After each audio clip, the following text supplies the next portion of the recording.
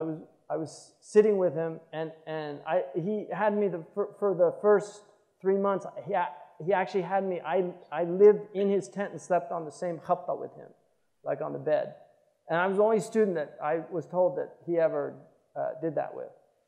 But, and then I wanted to go and make my own. He didn't tell me to go. I just started feeling, you know, you know, all the other students were over in the student housing, which were basically um, little twig huts with, made from old sacks of rice. So anyway, I was sitting with them, and uh,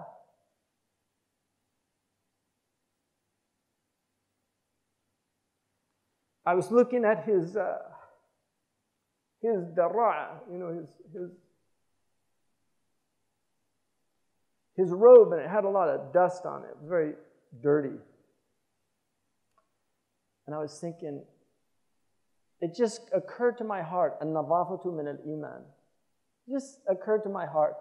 He was reading, and he closed his book, and he looked at me, and he said, Hamza,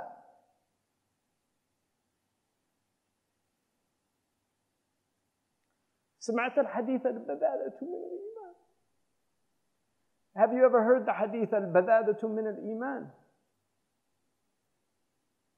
And I said, no. And he said, atadri al-badada? Do you know what badada is? I said, no. He said, jib al-qamus. Go get the dictionary of, because he used the dictionary of al-Fayruz Abadi. So he went, I went and got the qamus and I looked up badada. And it said, having no consideration for the appearance of your clothes. And a few years after that, I was in Medina and I mentioned that to some people, and one of the people there said, أنا استبعد هذا الحديث. I find that hadith difficult to and I, I, went to the bookstore and, and, and I saw the book of uh, Hujjat uh, Kandahlawi, uh, Hujjatullah al-Baligha. And I, and I actually bought it, still in my library, and I have the page marked. Um, and I, I just opened it. You know, I wasn't looking for anything. I opened it, and it said, as for the hadith, uh, the hadith الطهور شطر الإيمان والأحاديث التي وردت في النظافة لا تنافي الحديث البذاذة من الإيمان. as for the hadiths that are all about cleanliness, they don't negate the hadiths about uh, unkeptness. Because the hadiths about unkeptness are for the Bedouin.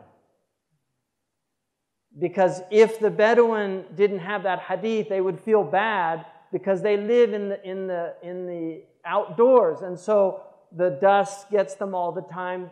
Their floor is made out of dust. They sleep on the earth. So their clothes will get soiled. And so that relates to the Bedouin, which Murabit al-Hajj was Bedouin.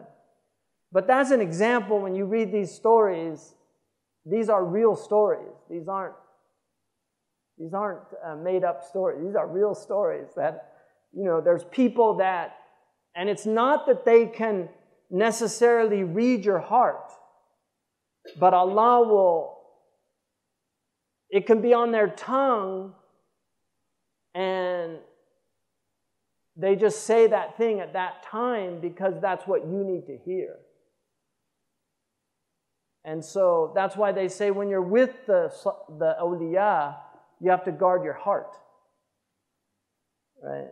When you're with the salihun. وَلَا نُزَكِّي عَلَى اللَّهِ أَحَدٍ We don't claim anything about anybody. Allah knows who His awliya are, but نَحْسِبُهُمْ كَذَلِكَ We think of them that. We have a good opinion of these people we should really have an opinion of every Muslim is a wali.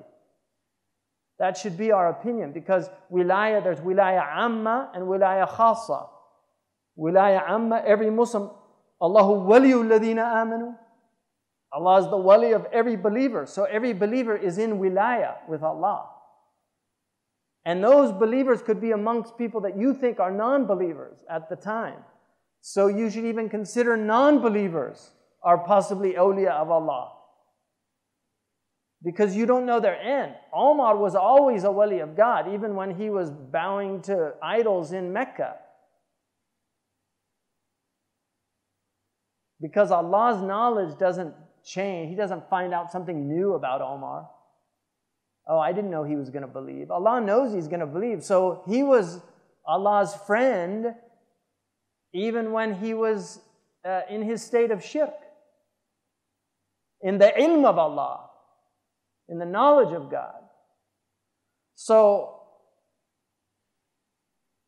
the stories are important, and that's why traditionally they've been recorded and, and told for this reason.